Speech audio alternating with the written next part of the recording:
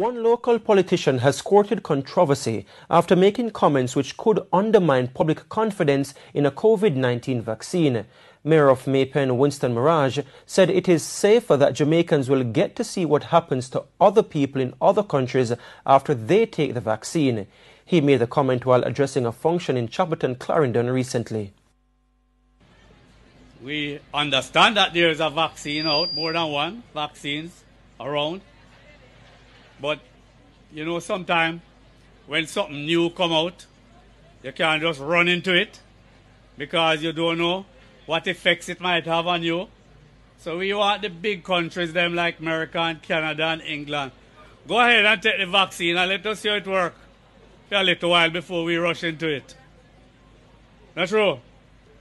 Yes. That's the safest thing to do. Yeah, so after that now, I will say, yes, it's working.